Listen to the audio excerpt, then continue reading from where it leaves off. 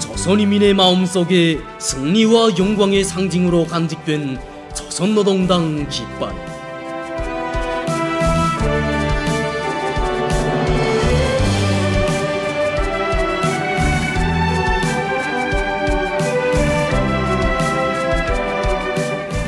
붉은색 기폭의 중심에 마치와 낫과 붓으로 형상된 조선노동당 마크가 새겨진 것이 조선노동당 깃발입니다.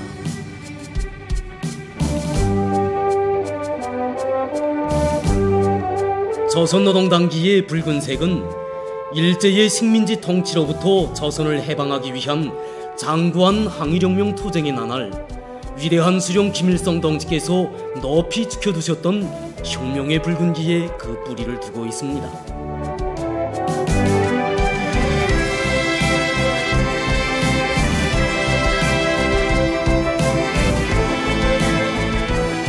항일 혁명 선열들의 피가 스며 있는 붉은 기폭은 조선노동당의 혁명적 성격을 그대로 반영하고 있습니다.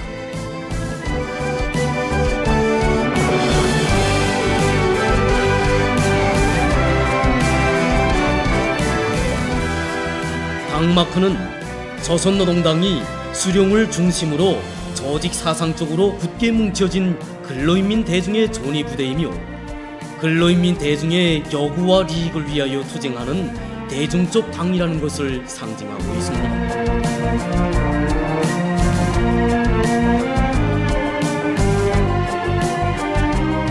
조선노동당은 주체 34 1945년 10월 10일에 창건됐습니다.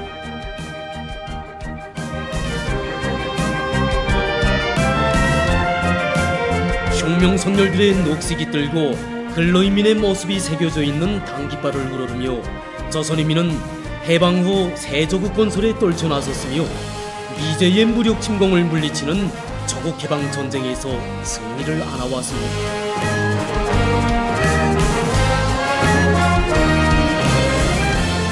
존후복구 건설과 사회주의 건설, 사회주의를 수호하고 선군 조선의 존엄을 높이 떨치는 길에서 당깃발은 언제나 향도의 기치였습니다.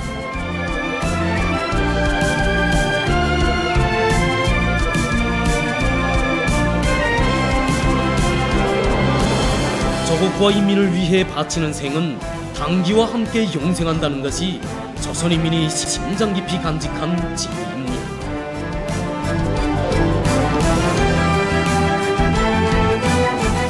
오늘 조선인민은 조선노동당을 오몬이라고 부르고 있습니다.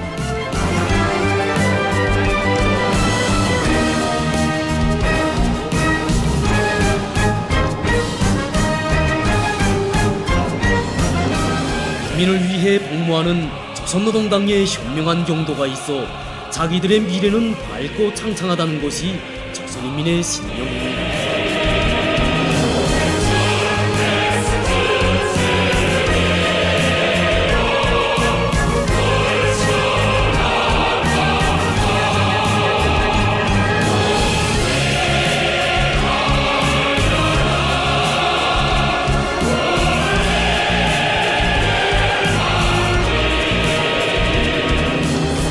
위대한 김정은 동지를 높이 모시어 조선노동 당기는 인민의 운명을 간직한 승리의 기치로 영원히 높이 휘날릴 것입니다.